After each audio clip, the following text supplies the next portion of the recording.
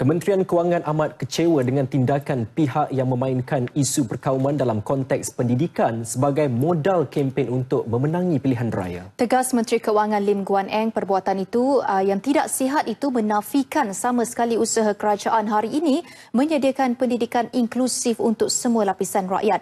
Menerusi satu kenyataan media, Guan Eng membidas tindakan pihak yang memanipulasi sumbangan peruntukan kepada Sekolah Menengah Persendirian China SMPC dan College University New Era Jumaat lalu.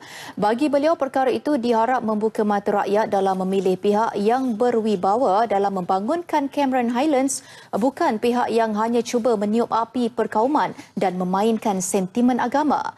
Realitinya rakyat perlu bersama menyokong agenda Kerajaan Pakatan Harapan dalam memperkasa sektor pendidikan demi pembangunan ekonomi negara.